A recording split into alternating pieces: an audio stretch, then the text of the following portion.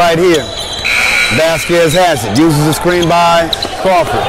They give it to Crawford. They converge on him. He goes to the dribble drive all the way, lays it up and lays it in. It's a one-point game. Here comes Vasquez. Kicks it out to Crawford. Three down.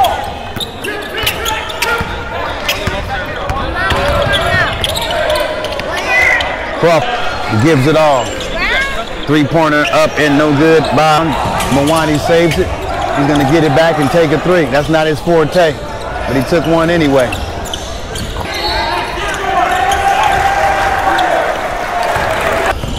Brandon Lamar.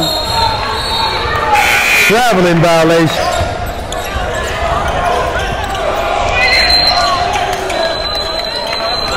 Crawford.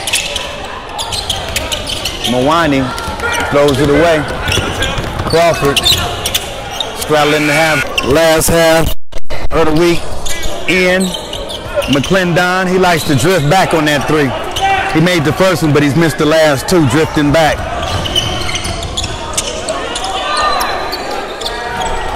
Three.